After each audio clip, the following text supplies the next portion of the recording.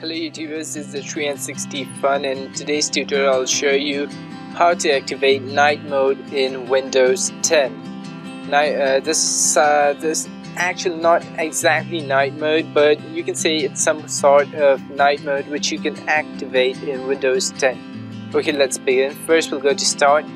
I click on settings.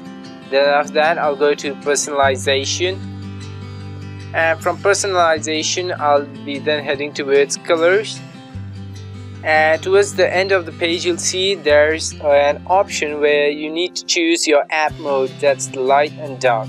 If you click on the dark mode you can see it's basically like the night mode without uh, so that you won't have any stress on your eye and it's quite easy to use as well when it's dark and it's quite visible. Everything looks easy. There's no uh, problem while navigating or whatsoever even if even if it's black in color it's uh, better for the eye I guess and it looks a wonderful addition in the Windows series.